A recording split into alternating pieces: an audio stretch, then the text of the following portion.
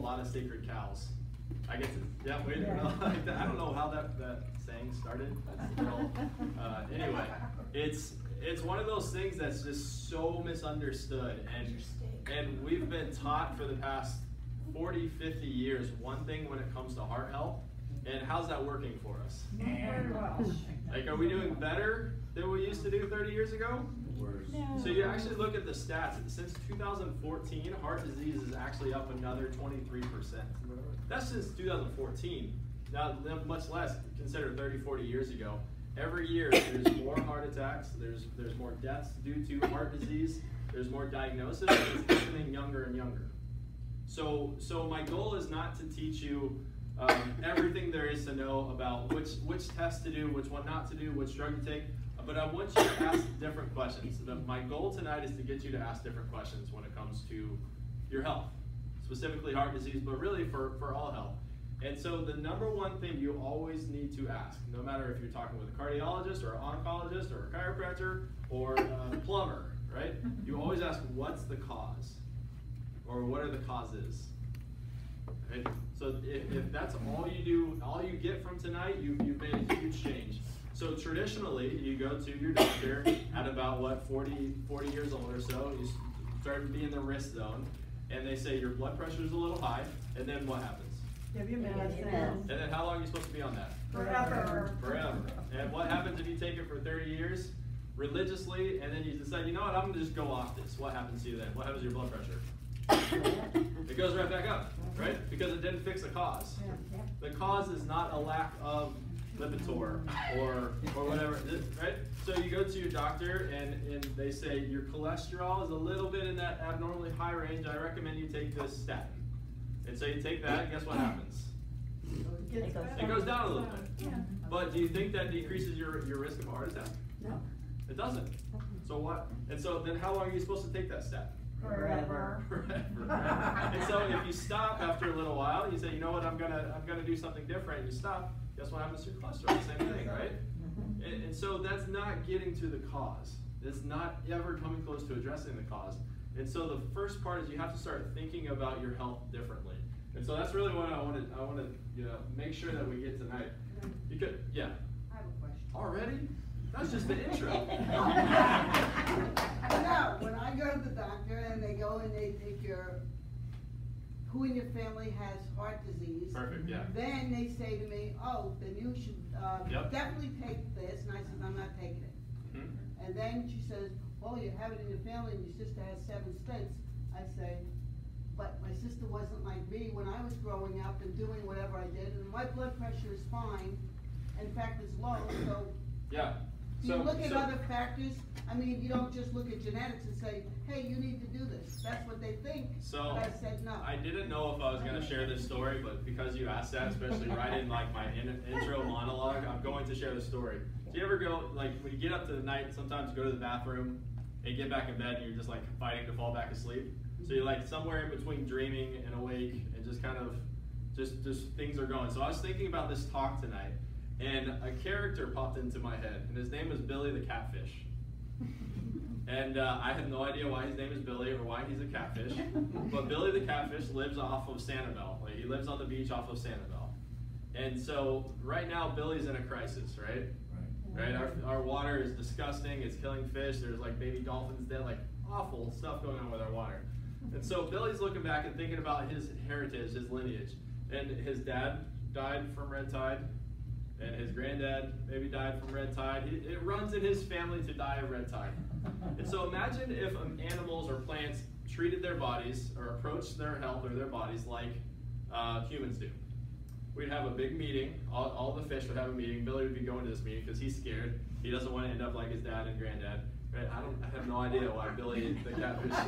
but this actually will land in just a moment. Like think about this. Think about if fish reacted that way. So so no one's sitting here at all these town hall meetings that we're having right now saying how we're to save our fish. We need to go and we need to give them little tiny doses of medication to make sure that their bodies are strong enough. And you know what? We're going to make a vaccine that we're going to be able to, to spread in the water so all the fish will be more resistant. Right? And, and all these fish that are dying, well, they have a genetic predisposition to the red tide and dying. And so, so we're going to, um, you know, just let those ones die off or, or address them differently than we would everyone else.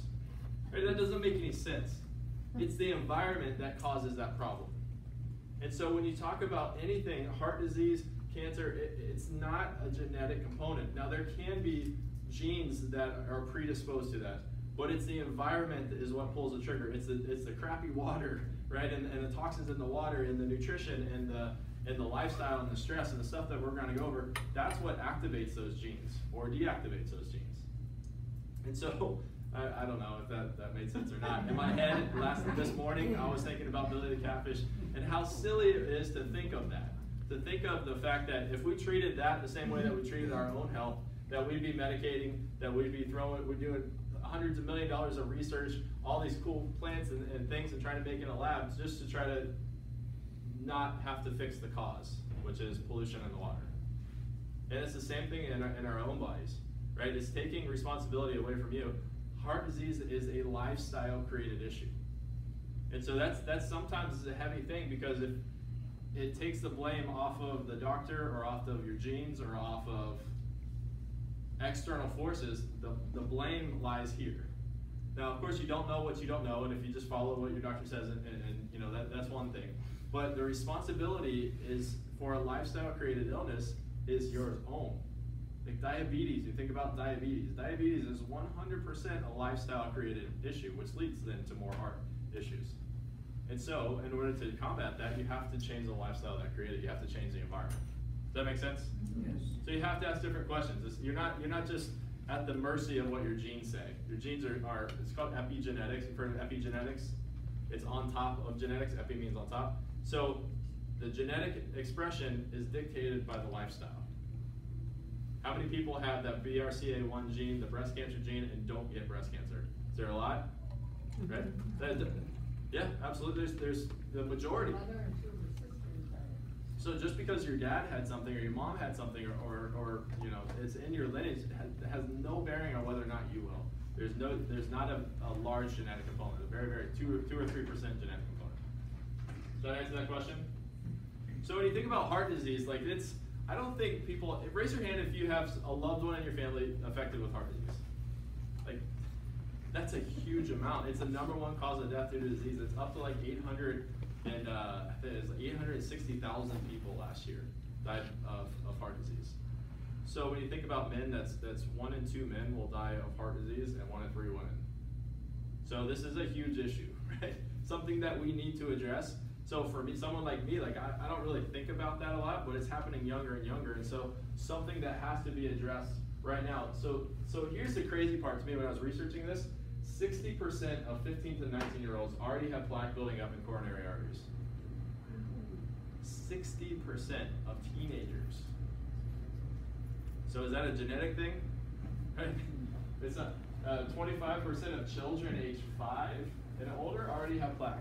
25, a quarter of kids that are 5. So this is not an adult problem. This is happening younger and younger. And so if it happens starts at 5, then what's it look like at 35 or 40? Right? So we got to do something different. We have to start asking different questions.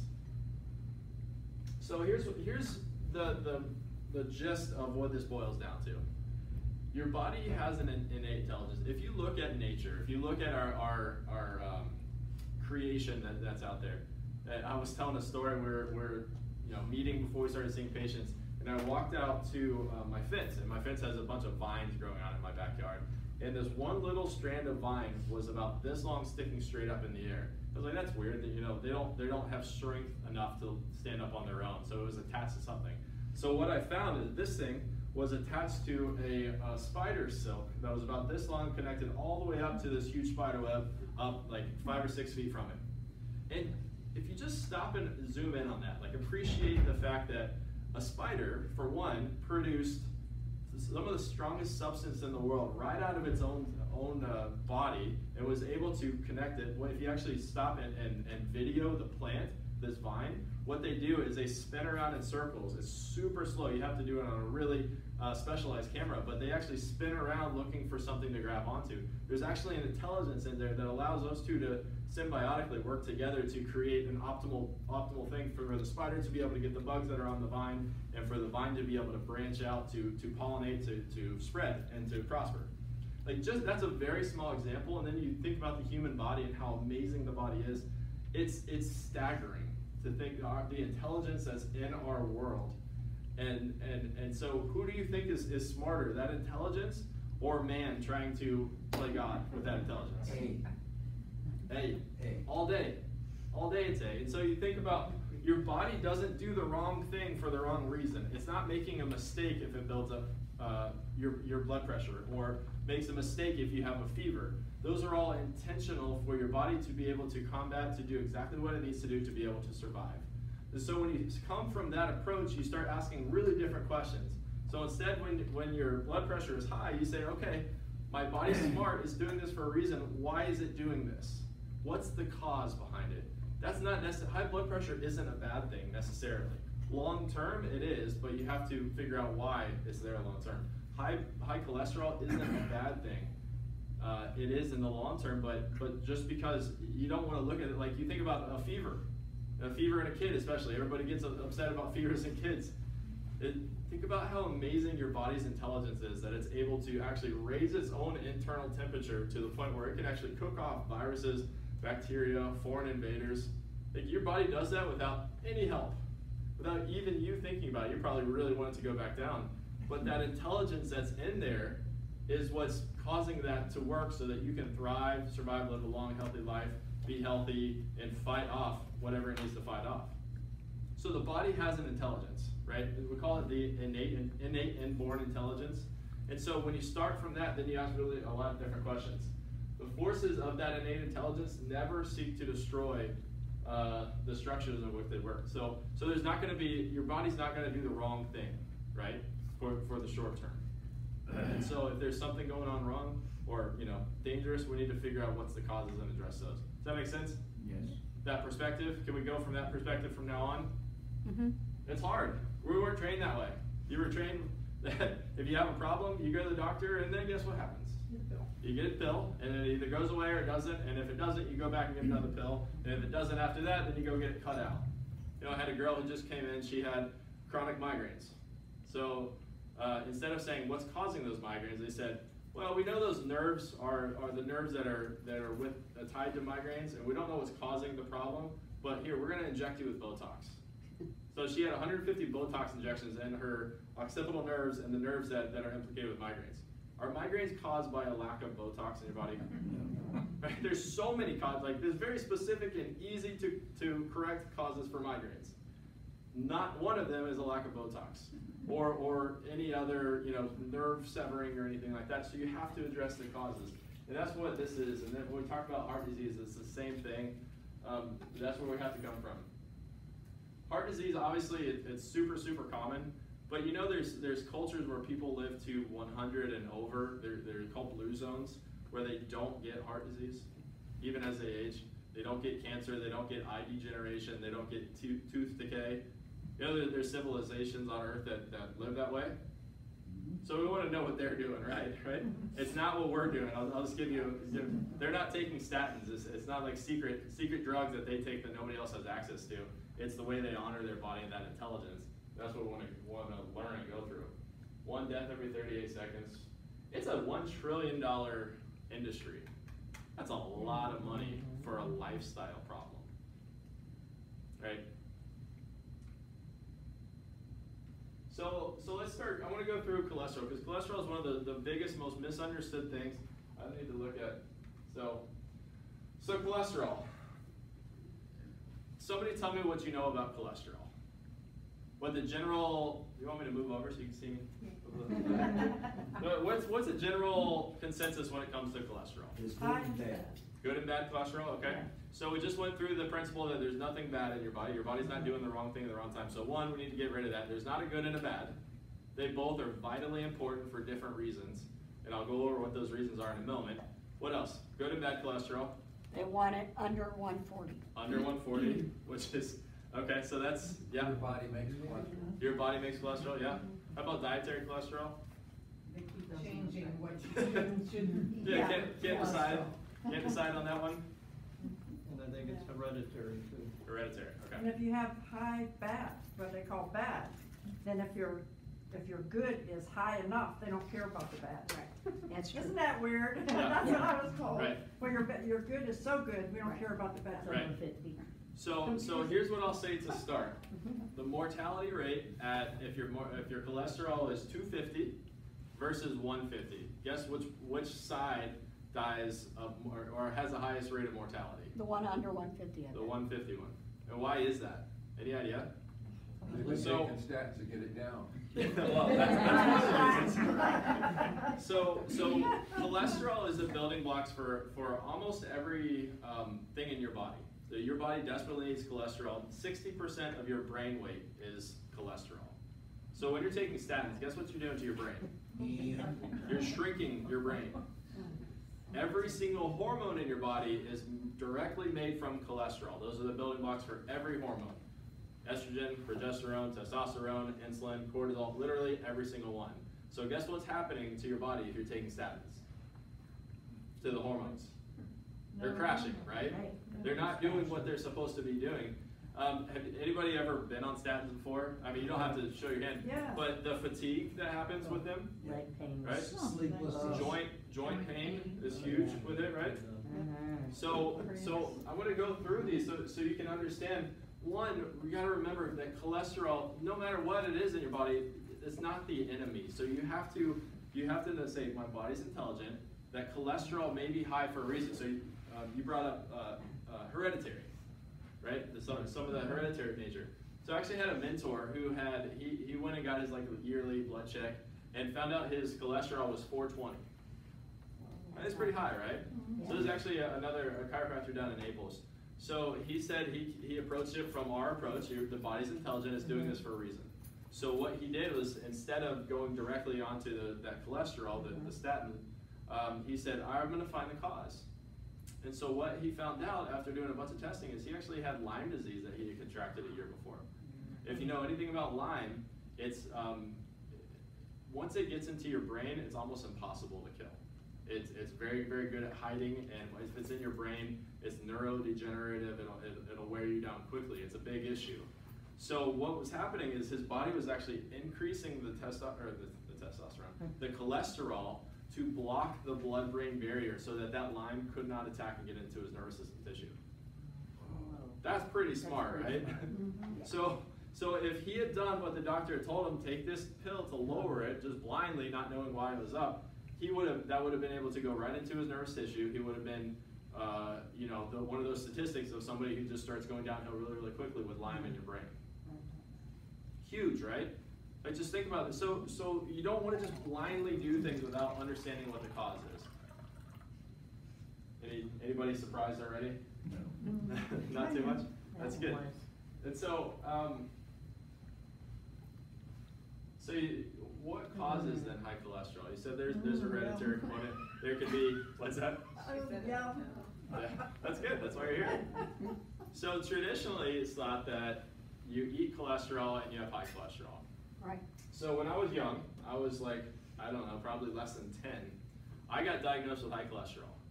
And so my mom was a nurse, and what she understood was that, you know, eggs, the, the you know, saturated fats, those things are the things that increase cholesterol. What she didn't understand was, was the principle that we're talking about. She's starting to come around a little bit now. So I would, we would go after church every Sunday to Ryan's Family Steakhouse. Anybody, Ryan's Family Steakhouse? Oh, yeah. It's like a Golden Corral type place.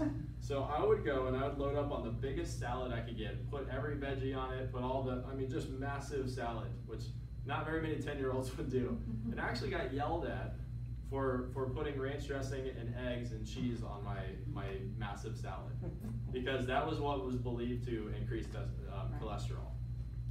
So that is absolutely 100% false. There's never been a tie between dietary cholesterol and serum cholesterol, cholesterol in your blood. Never. Never been shown.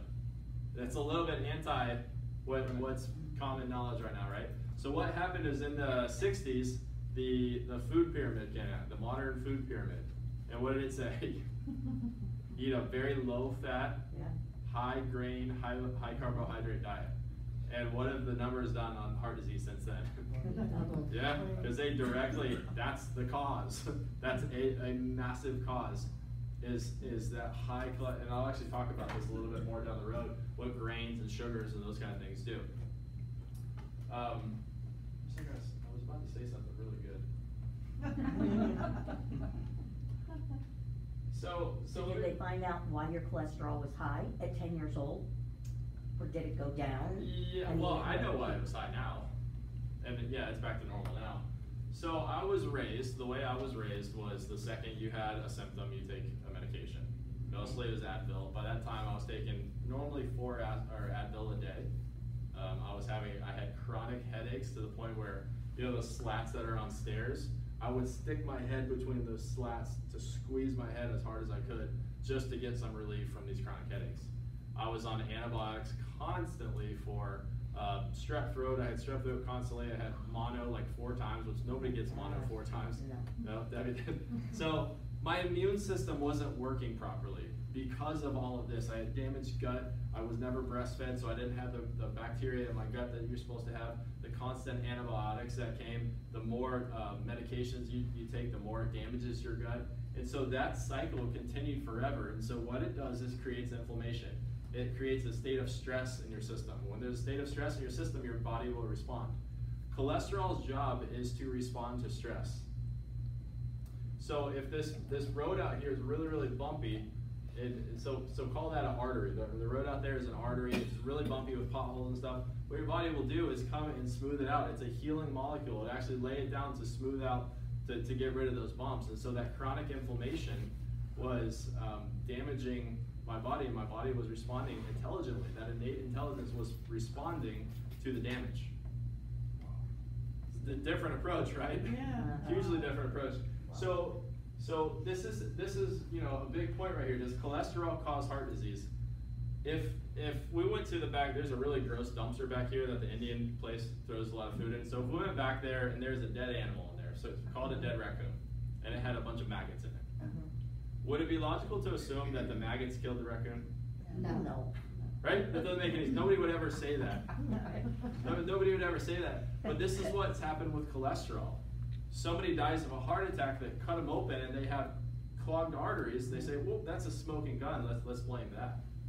Right? It's no more. It's, it's no different than firemen showing up to a fire.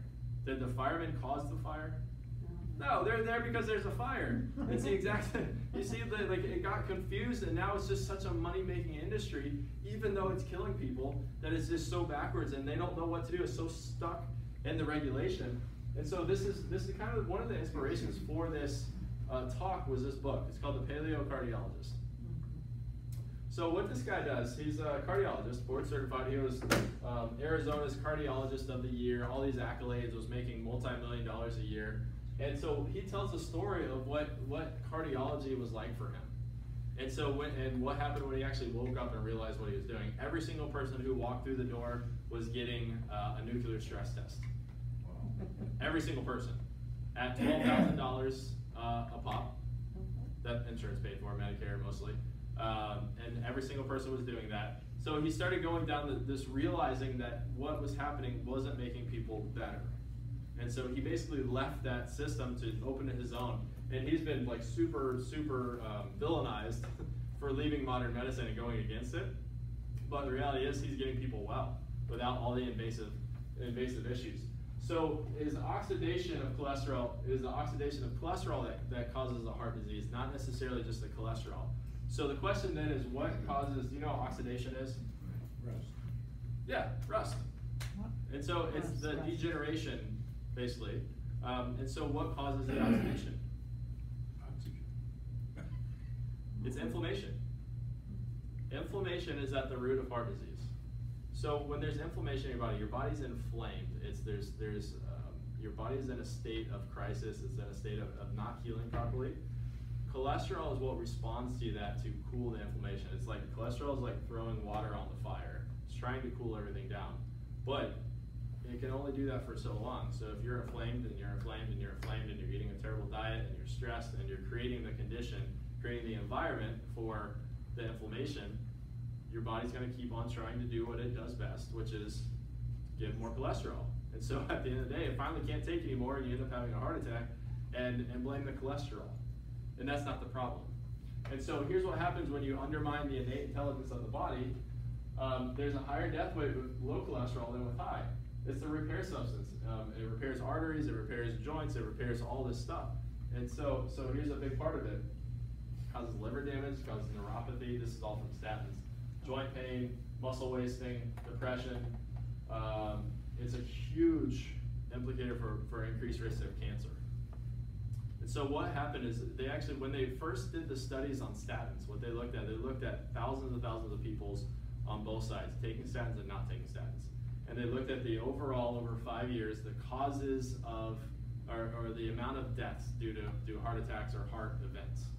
And it was three percent in the group who did, or it was three percent of the group who took statins, and it was four percent in the group who took statins, but didn't take statins. Does that make sense? Yeah, yeah, I, I got myself confused there.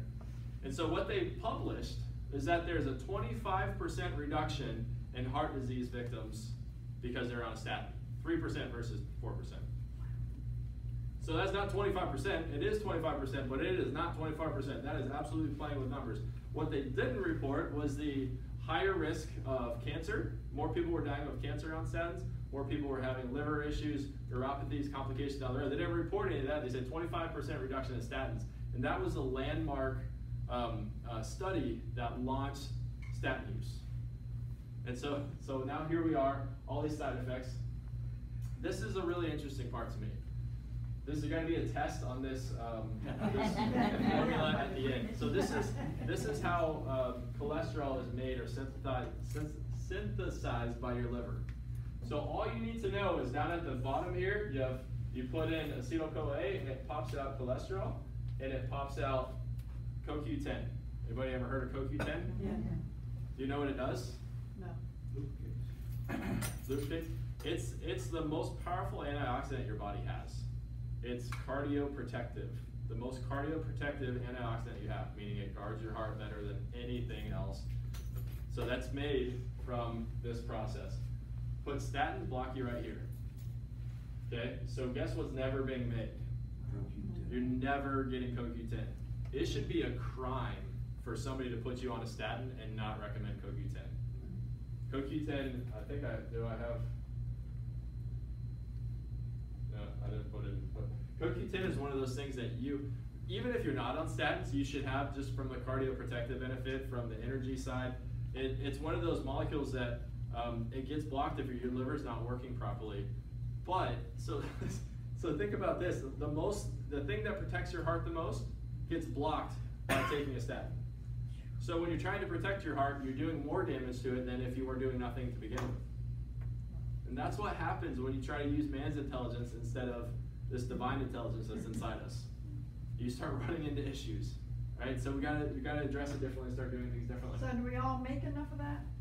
Do you make enough of it? Yeah. Uh, generally, you do, yeah. You If know, you're it'll not taking operate. Statins, then you're. If you're taking statins, you're not making any of it, Okay. and you have to be on a CoQ10. Right. Like without, with there's not even a conversation. You have to be on a CoQ10 if you're on a statin, or if you've been on one. Right? If you've been on one, especially most people who go on statins, they're not not on them for six months, right? It's like years and years and years, or decades. Um, it's it's one of those that you just want you, you need to have enough of in your body to protect. It protects your nervous system as well. It does a lot of different things. But if you've ever been on a statin or you're on a statin, you have to be on a CoQ10. This is ours. There's there's plenty of other good ones. I always recommend our stuff because I know where it comes from. Um, so there's that. So, does that answer any questions on cholesterol so far? We're gonna get into some of the other the reasons it goes up with the lifestyle stuff. Yeah, What would happen if you were on a statin and you stopped taking it? nothing. You'd get energy. I mean, your your memory would come back. Your joints would heal. You would start making um, your hormones back the way that they're supposed to be made. Save money. You'd save money. Yeah. Yeah, you need to So- go off of it slowly. So, so here's, Stop. so let me put a disclaimer here. I never recommend anybody just go cold turkey and quit their medications. That's something to do with the person who put you on that, unless they're like super resistant or just del- delusionally keeping you on that because they want to whatever get get more money from that. But I don't recommend going home and just stopping everything or throwing it all out. You got to figure out again, figure out the causes. You know, this statins. If it was my mom or dad, I would say dump them out, and never take them again. Uh, legally I can't say that. so, so with my mom or dad, that's what I would say. But it doesn't mean you shouldn't figure out the cause. You still have to address the environment that created that, that high cholesterol in the first place. And what I recommend is do those two simultaneously. you know, if it's the nutrition that you have to change, go through, change the nutrition to get it to the point where it's, it's almost so low that you, you have to get off it. This is what I recommend with blood pressure. You know, I don't want somebody to just go home and stop taking all their blood pressure medication because I say blood pressure is a good thing. Like, blood pressure is a good thing short term, it's a necessary response. Um, but you don't want to just go cut it out. You have to address the causes, figure out why it's high, get that body healing, honoring that intelligence that's already in there, and that way you don't need it. Right? Does that make sense? Mhm. Different approach. So don't just go go throw it out because your chiropractor said to, please. Yeah. Can you repeat exactly what cholesterol, it said does blank for your body? Oh, so It was the, in the, the notes and I missed it. so it's a huge chunk of your nervous. The biggest thing that um, cholesterol does is nervous system. It, it's the building blocks. So there's what's called around every nerve in your body. There's what's called myelin. It's something that's called the myelin sheath. I don't know if anybody's heard of this. It's it's the protective covering that allows nerves to travel at 300 miles per hour. Without myelin, it slows down. It can't transmit. The, the action potential can't go as fast. Myelin is all made from cholesterol. So brain, huge, huge amount of, of uh, cholesterol in the brain because it's cardio, because it protects it, the, the nerves all around. Um, it's the building blocks for all, all, all cholesterol, all hormones. Um, joint lining, yeah. The uh, um, Any like the arteries in your body, it's it's what smooths the arteries if there's damage due to inflammation. Got it? Those are the, those are the main ones. There's there's like a thousand more, but those are like the. The myelin, is that the one that's got the shape, the the shape yourself. across? no, Is that your- no, that's something else. I can't remember what that's called. No, myelin is just the, the sheath that surrounds. Um, and when I talk about the spine, I'm going to talk about myelin a little bit more. Because basically, it's the building blocks for, for so much in your body that it, it can't be the problem. Everybody got this formula down? Mhm, yep. If you can pronounce like two of those, you get a. You can see two of them. Well, yeah, it's kind of small. I didn't want you to really like focus on it. Okay. Just the fact that it starts up here, statins inhibit CoQ10, they CoQ10. So blood pressure. this picture always makes me laugh. What do you think his blood pressure is doing? Going up. Is that a good thing or a bad thing? Good. It's a good thing. In the right circumstance, high blood pressure is a vitally important process. Now, now you don't want it to stay up at I don't know what his blood pressure would be right there. I bet it's really really high. But you wouldn't want to get out of that danger and then have it stay there certainly. But what that is, whatever if it's a hippo, if it's a tiger, Dr. Amber doesn't like that that example. If it's uh, a deadline at work, if it's financial problems, if it's relationship issues, whatever that stress is, it could be it could be your nutrition, it could be not sleeping properly, it could be uh, you name it. Whatever that stress is, is going to cause a physiological reaction in your body. And so instead of ignoring your physiology and saying, "Well, I know smarter than my brain. I'm going to take a pill to lower it," figure out what that physiology is and where that interference is to correct that so that your body you got to get away from the hippo you know and that may be a transition at work that may be something in, in your, your brain or thought process or how you handle stress it may be getting rid of a relationship or healing a relationship whatever it is i mean there's a thousand different examples you have to address that stress so that your body can get back into homeostasis like you've heard of the autonomic nervous system mm-hmm. so there's there's the autonomic is the part that you don't control. It controls you. It's you don't think about it. So it's divided into two parts. There's a sympathetic nervous system and parasympathetic nervous system. You know the difference between these two? Sympathetic is your fight or flight. It's the hippo's chasing you. Your your blood pressure goes up. All your blood is going to go to your, your fast twitch muscles so they can get you away from the hippo. Your pupils dilate so you have faster reaction time. In a in a in a uh, fight or flight state, your immune system is not the number one priority. Your hormones being balanced and everything being nice and, and, and, easy is not the number one priority. Your digestion is not uh, a priority. It's getting you away from that stress. Parasympathetic is the opposite. It's, it's, the, it's called rest and digest. It slows you down. Para, like parachute, slows you down. So if your body is constantly in that fight or flight state, you're, it's creating inflammation. It's creating high blood pressure. It, you know, inflammation attracts more cholesterol. the, and then on top of that, so now you're stressed. You're not sleeping properly. So you're gonna wake up, wake up whenever you wake up, and, and chug a pot of coffee, right? Which further increases the blood pressure, further increases that stress response, and then and then you you know you just you're craving something, anything quick. Most people when they're waking up in the morning are putting sugar and cream in their coffee, and then having like a, a high carb breakfast like a bagel or I know mine was Pop Tarts growing up. I had two uh, frosted brown sugar Pop Tarts every single morning. And if it wasn't that, then it was toaster strudels. You ever toaster strudels? Yeah. Those that was my childhood. Now it's a miracle I'm alive. It really is. You think about that innate intelligence. Like I watched my nephew. My sister didn't. It didn't click for her until my nephew almost died from multiple issues when he was young. Um, but I, I watched for a whole week where he drank nothing but apple juice and ate nothing but fries and ranch dressing for a whole week in a two-year-old. That's a mir- like feed that to your dog and see how your dog does. Mm. Feed that, pour, put that in a plant and see what the plant does. The fact that we're able to survive some of the stuff that we throw at ourselves is truly a miracle and a testament to the fact that there's there's a, a healing power and intelligence already in there, right? And so so yeah, the, the, you got to get out of that stress response, whatever that looks like. You can't beat for your physiology. You'll, n- nature will always win, right? Your physiology will always win if you're trying to beat it.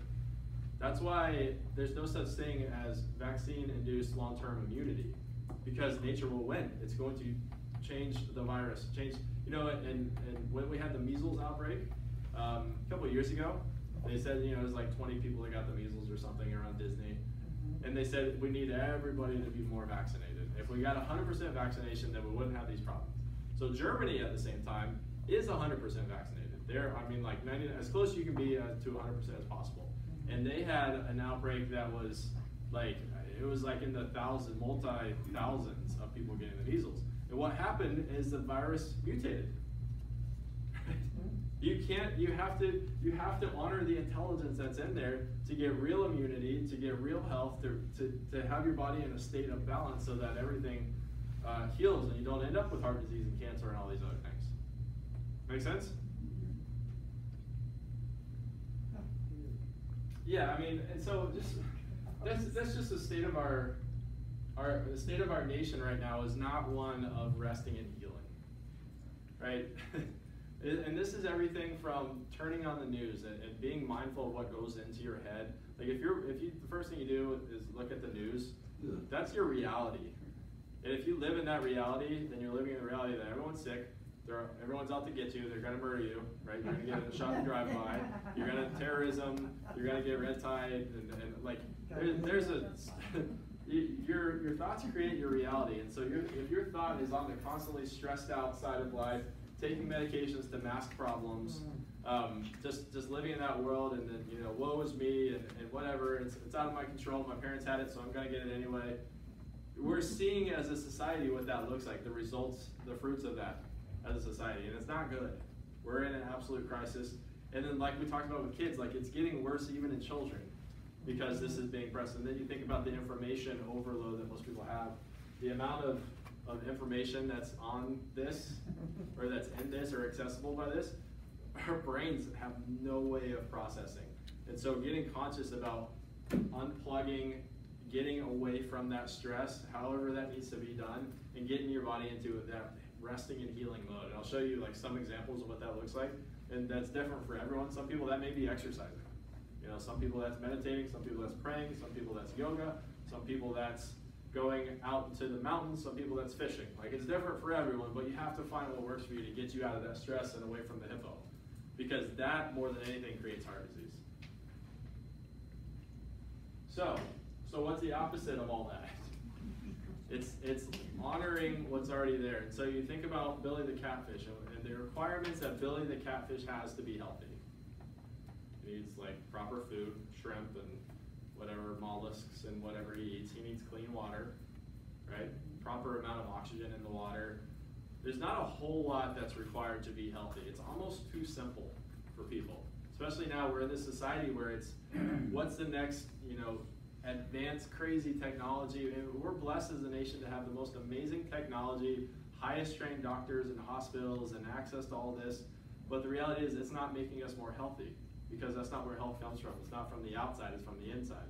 And so when you're when you talk about five essentials, it's it's the requirements that your body needs to be healthy. It's the mindset first and foremost. If you don't correct the mindset, you don't get away from the stress, away from the hippo, understanding how to balance and, and maintain that stress, you know, that, that matters more than anything.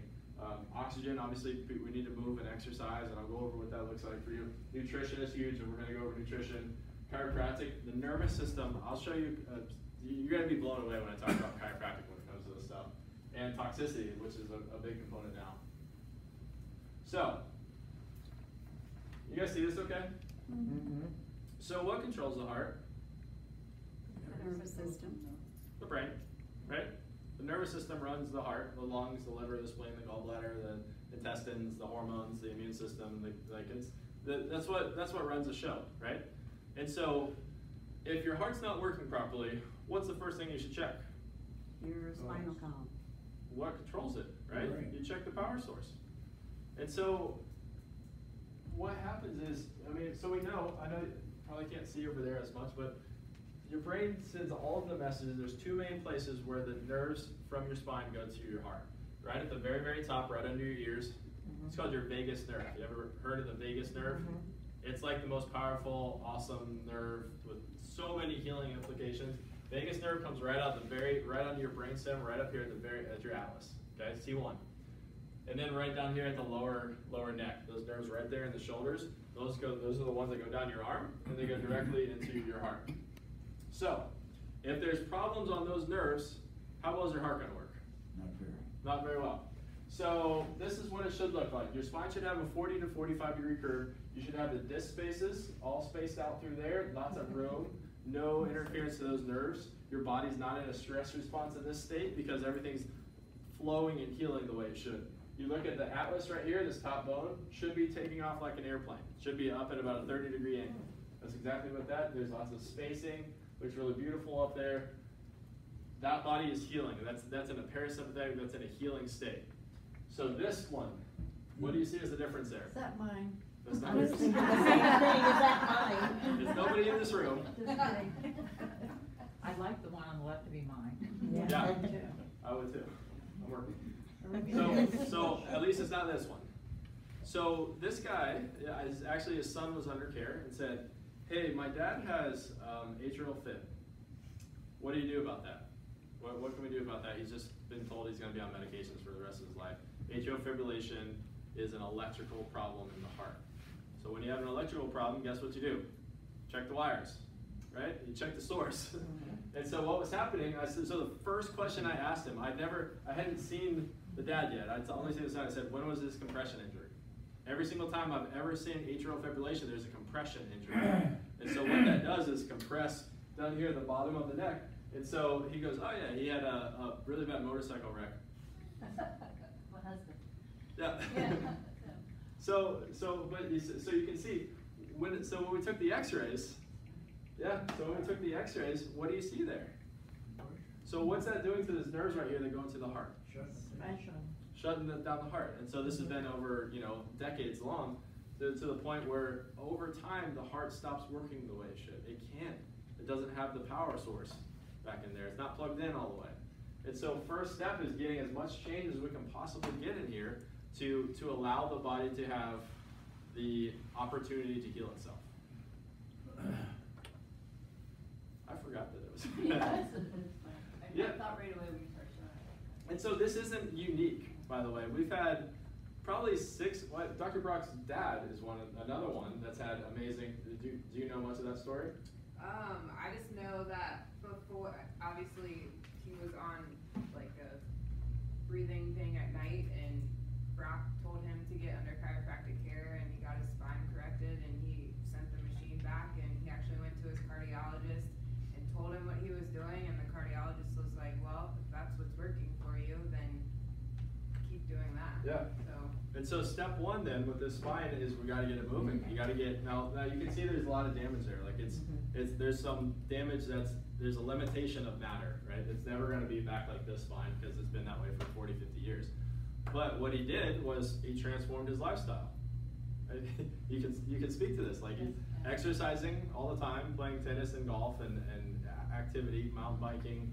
Uh, he, he gave up alcohol all the way, transformed his diet, not eating as much sugar and those kind of things. All, everything that he was doing was taking his body out of that stress response so that it, it had the opportunity to heal. Now there's so much damage, he actually went in and had some, you know, luckily we have an amazing uh, resource in our medical system. When there's limitations of matter, we're able to overcome that sometimes. So he went in and, and had a little bit of work done there as well. Uh, and, and over the last year, we were talking about this yesterday, he's been completely free of AFib. You know, and that's that's not an uncommon thing when you get to the cause. Right? When you when you check the wires, make sure everything's working. I can't tell you how many people I've had either with AFib or um, just early signs of heart not working the way it should. Whether that's the you know blood pressure issues or just um, heart flutters or, or things, your body balances out and it heals when you give it the right environment. So that's where we always start with check the nervous system, check what controls it, um, make sure that your body has the opportunity to heal. Make sense? So heart disease, one of the, the major cause of heart disease is inflammation. Basically what happens is that the more inflammation you have, the more um, the, the blood pressure goes up in your body. There, there's a whole chain of reactions that leads to the arteries being damaged. So when an artery is damaged, what the body does is, is send in cholesterol to heal it. Right? And so it constricts, the blood becomes prone to clot, white blood cells, scar, the, basically it ends up scarring, when the inflammation is high it, and blood pressure is high, it ends up scarring the arteries. And when there's scarred arteries, the, the cholesterol is gonna come in and try to coat that.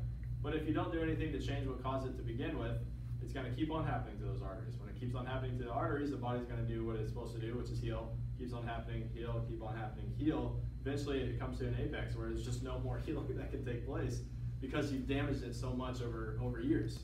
On average, a heart attack takes some, like seventeen to twenty years to develop it. You know, and so there's a lot of opportunity, one, for reversal, but two, um, you know, it, it takes a long time to get to that point. It takes a lot of, a, a lot of lifestyle there to do that. So what does the nutrition look like? This is, this is kind of a hotly contested thing right now. So there's, there's one group that says absolutely no fat and, and eat all plants. And there's the other group that says eat, eat pretty much all plants, but have some naturally raised uh, meat. And, and have, you know, sort oils and, and fats from good sources. By far, that's what our bodies are designed to do. Where, you know, you think about our, our ancestors, however long you want to go back, before the agricultural revolution, there was no such thing as um, a farm where you just sit and grab whatever's at the farm. You know, you were hunter gatherers. And so as a hunter gatherer, yes, you come across a lot of plants and you eat those. And that's the majority, you're foraging, you're gathering, you're, but at the same time, you're also hunting. You know, you, you'll go kill a deer or kill a rabbit or whatever. Then you have that. Your bodies were designed to eat real foods.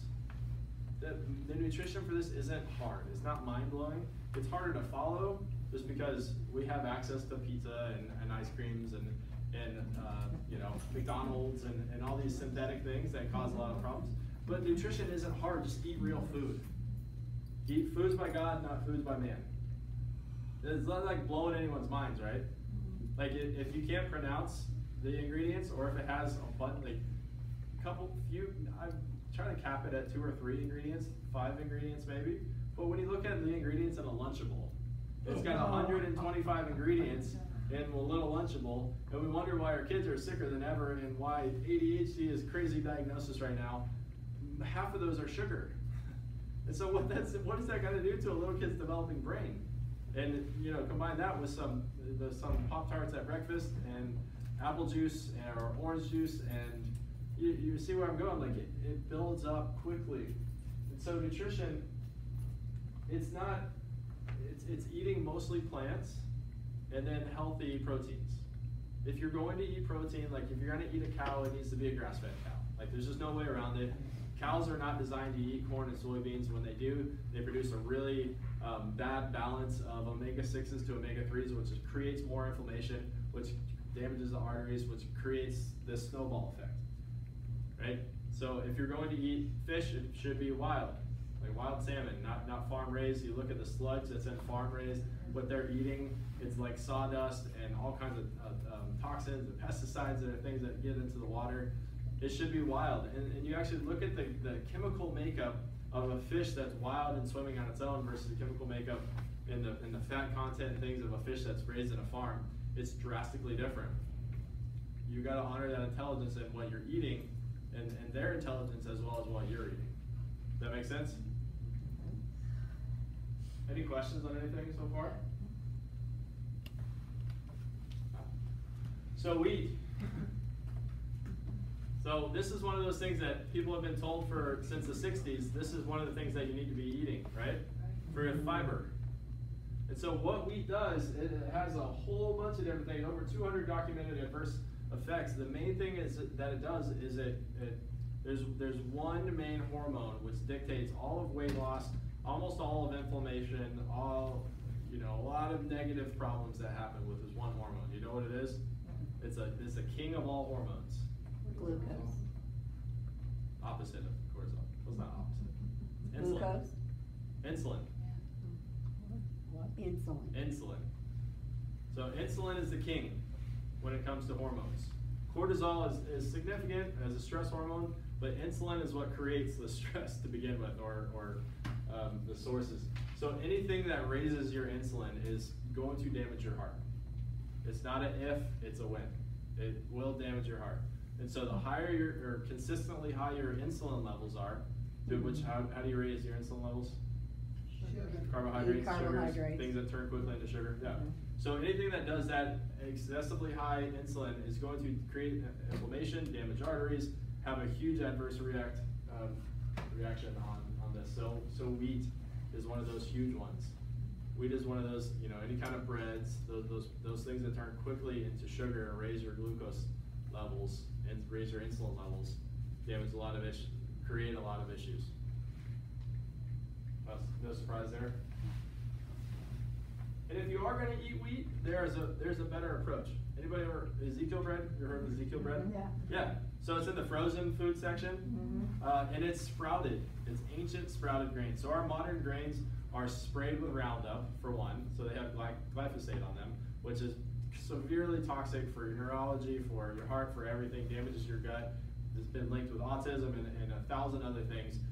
Our modern wheat is, is awful for that, but it's also genetically modified so that it's more hardy, so it grows quicker, it's bug resistant, so the bugs won't eat it, why should you? Right? Then the bugs won't eat it. They've, they've bred out those characteristics so that they're able to produce more of it and, and mass produce. So, so ancient grains, on the other hand, um, have a much higher protein content. They have a much lower gluten content, which we've all heard about gluten these days, right? Creates inflammation, um, and it, it doesn't have a lot of the side effects. So I'm not saying go out and you, you know eat bread every day or anything, but if you are craving something that with grains, go and, and do the better option and protect your heart while you're at it. Cortisol and insulin, yeah, sugar increases blood sugar. Um, yeah. So basically, cortisol, cortisol and insulin, insulin being the main one, increases inflammation, which causes 90% of all diseases, but especially heart disease. And it, the big thing that it, that inflammation does is damage those arteries. And so the more the arteries are damaged, the more, more they're going to get blocked. So let me tell you a story. We'll, we'll take a pause here to tell you a story. So uh, I knew a man, um, still know a man actually. Uh, he was my ex-father-in-law. I got divorced about six years ago, so I haven't spoken with him in a while. But while while I was his son-in-law, he uh, we were away at college and got a call that he had had a sudden heart so of course never a fun phone call to have. And what they found is that he had 100% blockage of his left anterior descending artery, which is the widowmaker. Heard, of, heard of that? Yeah, the main one, the main one that pumps blood to your entire, like if you have that blocked, you die. So what they had done is they'd gone in, this is about six months before, they'd gone in, they'd put a stent in. And so anyone knows what a stent is, it, it's basically going in to open up the artery, because they think if it's clogged, if you open it, it'll, it'll prevent heart attacks, which it actually does the opposite, which we found out later. So what they had actually found is he had one hundred percent blockage of his left anterior ascending artery, but the body's intelligence, I mean, this is, this is just incredible to me. It had happened slowly, he had been damaged in his body for a long time. He had one hundred percent new, um, artery growth to reroute blood around that blocked artery. That's an incredible intelligence. The body was aware that this was going on, and so nothing was going to be done different with the lifestyle. So we're going to start rerouting and making new arteries so that that area can still get blood. So what happened is they went in and put a stent in, and what a stent has in it is a slow release um, chemical which stops angiogenesis, stops new blood vessel growth. So exactly what saved his life to begin with is was killing him. And so he ended up having another heart attack. Thankfully, he survived. Still hasn't changed anything. Lifestyle. It's a ticking time bomb. Like, what? Why does it take that, and even still sometimes not that, for you to like change your lifestyle? Doesn't make any sense to me. But that's beside the point. That's the intelligence that's in that body. That even if it's blocked, it can still reroute and get get arteries to go and actually still make still make enough blood and oxygen to that area to, to thrive. It's when you start going and messing around with it that it becomes an issue. That's why I said it right here, wherever I said it. The uh, where where is this stent one? They haven't changed. Oh, we didn't write it down. We changed them. Oh, okay. That's why stents cause more issues. And so, so have to ask a question. yeah. Why they, why don't these doctors know this, this information? So the studies are all there. So you actually, I recommend everybody go read this book. This is a pretty amazing. It's Who's called the author? uh, Jack Wolfson, Dr. Jack Jack Wolfson. So they, the studies, the research is all there, but that's not where the money is. One other test, they do a test, find out he's ninety-eight percent in the widowmaker, Yep. and they put a stent in him, and he needed four stents. Because So they're- now, they're I attaching call the them the stent family, but it's, now, how do you, how would I even go about telling my sister, well, you know what, I can't, I can't, I can listen to what you tell me and protect myself, Yep. but I can't do anything, I can't tell her all this, cause she won't believe me, and I, Yeah. so, Send What's her- a full send- name? Send her a book. That's Jack paleo, Paleo paleo cardiologist. Yeah, send her a book. The reality is not everyone's gonna agree, and that's okay. And I think mean, I know just that think not these everyone agrees Doctors with. make, make us all sick for no reason, for Well, money. it's Yeah. not their, it's not their fault. Who's, who's responsible for your health? If I didn't come to you, I wouldn't know all this, I know. And so, you know, and so you don't wanna like blame, blame anyone other than just realize, you know, you don't know what you don't know. And so life is a process of learning, and sometimes you have to go through lessons in order to learn. Sometimes they're really hard lessons that you have to learn, and sometimes it's you know it, that's okay.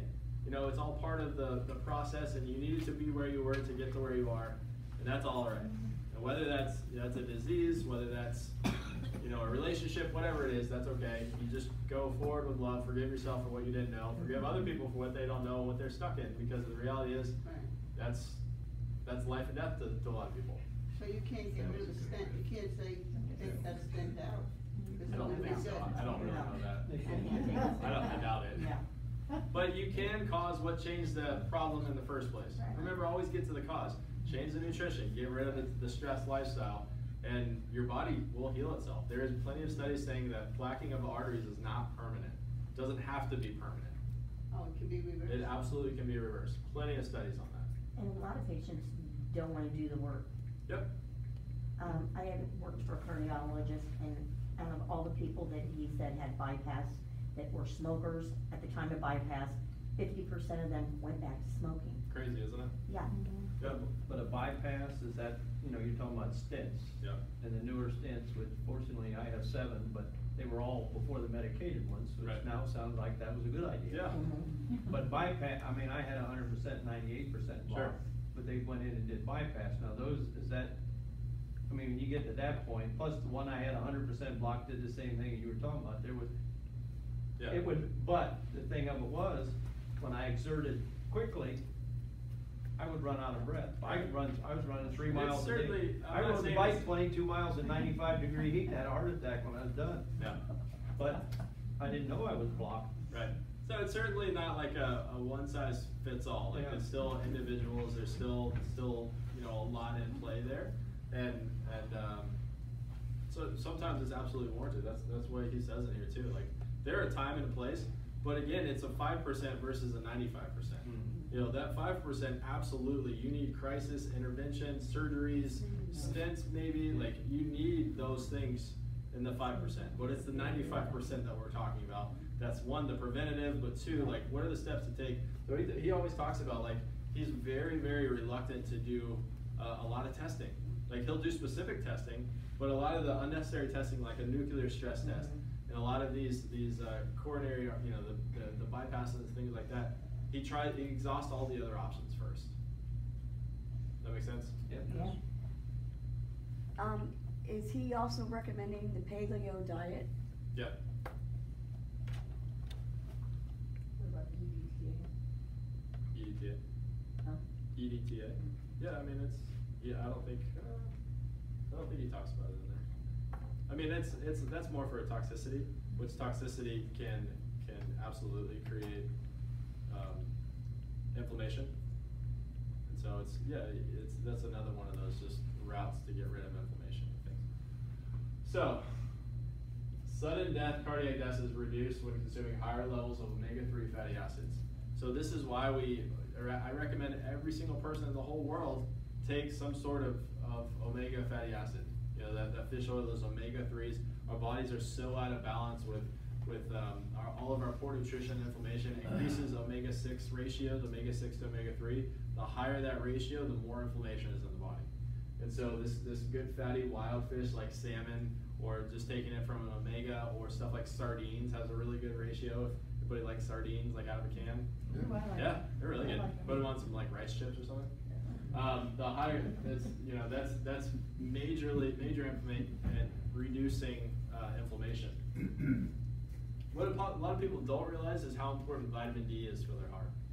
So does anybody get like 40 to 45 minutes on at least half their body of sunlight every day?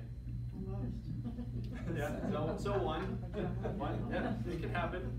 But and if you don't, then you're not getting enough vitamin D. Or if you live in North Dakota, there's a reason why the Northeast has the highest levels of multiple sclerosis. It has the highest levels because it's the lowest rate of, of vitamin D. Vitamin D is protective for everything from inflammation to all diseases, all cancers. The higher your vitamin D, up to an extent, you can't really get it too high without really trying. Uh, the higher that is, the more protected your body's going to be from every disease there is. There's a really cool graph on that. I didn't include it in here. Just take my word for it. It's it's it literally cuts your risk of heart attack in half by getting the proper levels. So if you've never had that tested, get it tested. It's a pretty easy, cheap test. You know, you want that level to be somewhere above 60, 60 to 100 is kind of like your normal. Most people you test are going to be like in the, so rickets, you heard of rickets? Like the old, kind of doesn't happen a lot. That's at like eight. And, and so that's pretty low, but I've tested people and they've been in the teens, which is like you're set up for, for every disease under the sun. Your immune system isn't working properly if your vitamin D levels aren't what they should be. So get those checked. They actually found out recently, this came out in this research, they made a mistake when they were um, recommending the recommended daily allowance for vitamin D. They, they thought it was 600, it's actually 6,000 units per day. That's a big difference. Yeah, so, I mean, huge with, with breast cancer and, and a lot of different cancers, that, that vitamin D level, that really needs to be up there. We got our vitamin D in the back. The nice thing with vitamin D, with our vitamin D especially, is it has a probiotic with it, so it gets absorbed. It actually, you know, it's, you are not what you eat, you are what you absorb. You know, and so if you're just eating something, you know, some vitamins just pass right through you. If you take it with the fat and that probiotic, it actually gets absorbed a lot easier. And it has to be the active form of vitamin D, the D3, not, not uh, D2. And then magnesium is a huge one. Anybody take magnesium? Yeah. Yeah. I mean, magnesium is, is like a vital substrate for every chemical process that goes on in your body. Really needs proper levels of vitamin D. A lot of muscle issues with vitamin D. One of the big things it does is, is getting down inflammation. Sleep better with magnesium. That's, that's one of those that's really, really easy to take. You can notice immediate benefits, and it makes it easy. Like Dr. Amber used to be narcoleptic. And she found, to be. Used to be. She's not anymore because she found out how low her magnesium levels were really, really low. And just I was highly stressed. stressed. Helped everything. Yep, and depleted. Nutrition, changed lifestyle. It actually tastes good too, like ours, ours is Yeah. the best one. I've had. Three. It tastes like a pomegranate flavor, Absolutely no omegas. So, you're, Howard, you were saying, what did you say about biking, You go bike twenty miles? Yeah, that's the day I had a heart attack. So, you ever heard of Jim Fixx? Everybody know, remember Jim Fixx? Mm-hmm. The running guy. Yeah, the running guy. Yeah. He, he invented running. right? That's, I, when people say that, I'm like, I'm pretty sure people have been running before. But he, he invented it as a, he patented it really and made it popular as like a sport to go running or go jogging. And guess what he died of? Yeah. So what happens is long, slow distance increases, long, slow distance exercise, whether that's running marathons or biking twenty miles, it actually increases, there, there's a threshold where if you go too much, it increases your stress response. And so, uh, it incre- you, you don't, I don't think anybody in here is in danger of running marathons, right? Nobody- Nobody's doing that anymore. No. But you have to move your body. You absolutely have to get oxygen to your tissues. But if you do it too much, anything in excess is a problem. Right? Let that sink in for a minute. Anything in excess is a problem. I You agree. got you got to think about that. Like it's even the good stuff in excess sometimes can be a, can be an issue. Balance, balance in life. Um, yeah. So so long slow distance actually ends up increasing cortisol a lot. So you really got to be careful with inflammation. The by far the best. Who does burst training? What? Burst training or high intensity? Yeah. Also So- known as surge. Surge training, yeah. So all that is is high intensity for a short duration of time. Ten to twenty minutes is all you need at a high higher heart rate to to get the benefits, and they're lasting. You know, when you're doing high intensity like a burst type training, those benefits are lasting you for the next thirty six hours. Versus if you just go run, if you say say you go jog a mile um, and stop, as soon as you stop and your heart rate comes back down to normal, you're you're done. Your, your metabolism doesn't change. You're, you're not burning fat long term. But when you do that type burst type training where you're up and you're moving and you're getting your heart rate really high and going, 36 hours later you still having you're still getting the benefits of that higher heart rate and then that increased metabolism. And but so the reality is we got to just move. And this is this is like exercise isn't really difficult. You just got to move. You think about our ancestors and what they did day in and day out there. They're milking the cows, they're they're you know whatever hunting, foraging, digging, whatever they're doing. They weren't sitting at a desk all day doing this, right?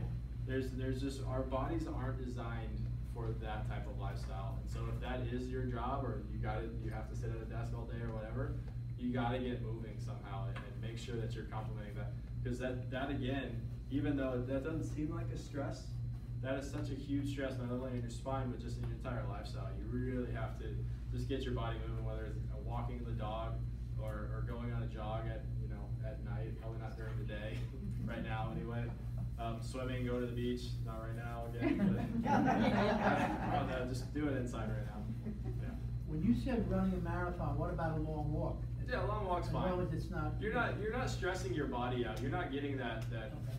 You know, have you heard about people when they run a marathon, they get sick afterwards? Yeah. Get a cold? Been there, done or- Cause you, have you, yeah, yeah, you suppress your immune system so much that it just has to, So same just, thing if you run a, a bike ride, but you're not racing, you know, you just. yeah, you're not, you're not in danger of like going too far. You're not gonna go ride your bike for five hours or something like that. And if you do that, you're not gonna do it consistently. It's the people that do that consistently that actually leads to more issues. So this is, we could do like a whole three hours just on the mindset here. So, so I won't, I'm not gonna say a whole lot here. You just have to figure out what works for you to de-stress and rest. So, so myself, that's getting outside of nature, right? I'll just go and walk along the back creek and watch, look at otters and, or, or climb trees or whatever. Dr. Amber, that's yoga, right? Whatever, whatever works for you, whether it's reading a book, whether it's sitting with a, a cup of coffee in the morning and, and just relaxing, even though coffee kind of spikes it. a little. Decaf. Yeah, decaf. Yeah, Get tea. coffee. Tea. But whatever works for you to de-stress and rest, and realize that yesterday's gone. Like it, it has no bearing on today.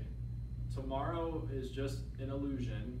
And so if you're worried about either one of those two, you're missing out on everything right now. That's not real, and this isn't real anymore because it, it's already gone. And so just be present and, and be here in a moment and, and appreciate it. I'm telling myself this just as much as I tell anyone else this.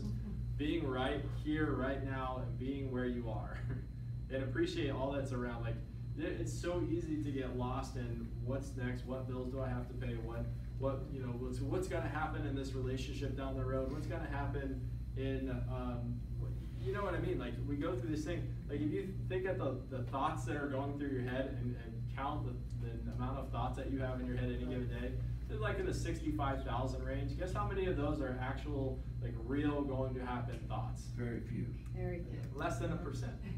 The rest is all just projection of something else, of fear, a past pattern, or whatever. And so becoming aware of that. Have you ever ever sat and sit and like have a conversation in your head and be aware? Have you ever observed your thoughts? That's pretty cool. If you think about that, you think about the fact that you can observe your thoughts, meaning that you are not your thoughts. Battlefield of mind. But if you can look at your thoughts and analyze them, then you are not your actual thoughts. You can actually zoom out past that and remove yourself from that state. So that takes practice to do. It's not a, you'll never probably get perfect at it. But the more you can do that, be mindful, whether it's yoga, like I said, whether it's um, journaling, whatever it is, get something that can take you out of that stress response. That will save your life more than anything else. If, if that's all you do, you'll be better than 99% of the population. Add that with some good nutrition, with getting your spine addressed and corrected and making sure all your wires are working properly, moving your body, exercising, and minimizing toxins, which we didn't even, we did a toxicity workshop last time, so we're not gonna go through all that, but there's a lot there too. Um, and asking different questions. If there's a symptom, ask what the cause is. You know, if there's if there's a disease, there's a cause. The disease is just a set of symptoms.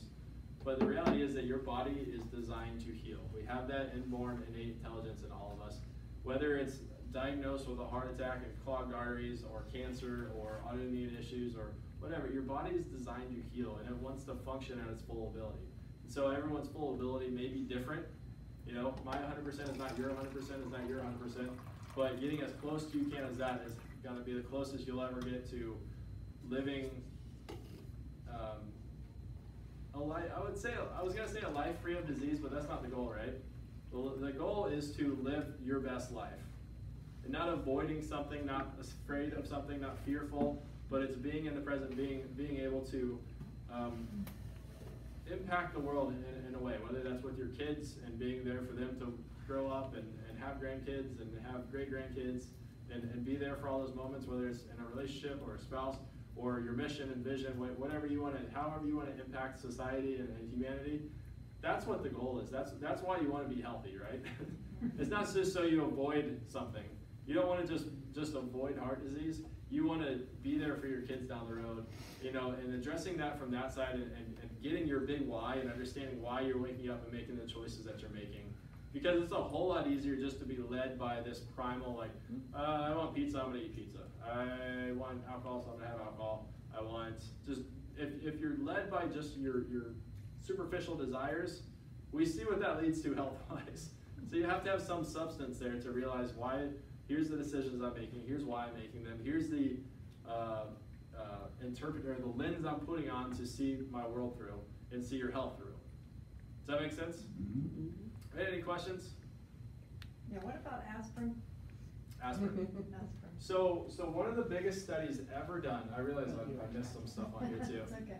Um, ever done? They looked at they they actually this is a, prescribing baby aspirin for heart disease is a pretty worldwide thing.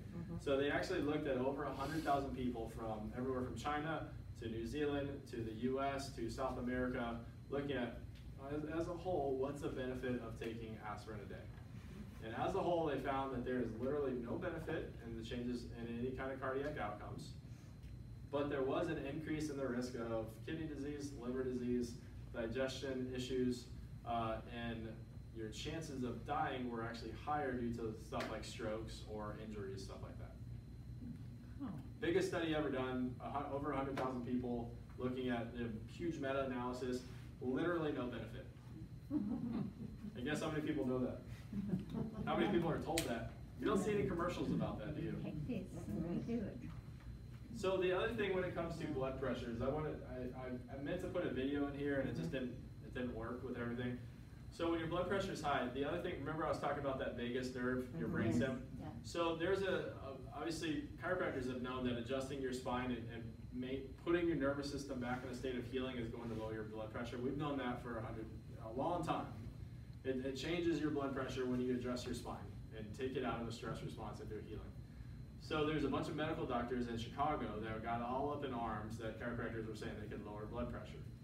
So what they did is they designed this huge double-blind randomized controlled trial, University of Chicago, to see what the difference was. And they did, um, a group got adjusted, the other group didn't get adjusted. And what they found, at the end of the results, they kind of had to eat, eat some, uh, eat some crow, that's what it was. Uh, is that it, getting adjusted lowers your blood pressure better than two medications, better than lisinopril and hydrochlorothiazide. And that's one adjustment. One adjustment and it lasted six weeks. So what do you think corrective care would do? Taking a shot, that's huge. So we know that blood pressure is not caused by a lack of lisinopril or it's a stress response, balancing the body, getting the stress out, restoring the proper nervous system integrity allows your body to get back to that healing state. Yeah. Speaking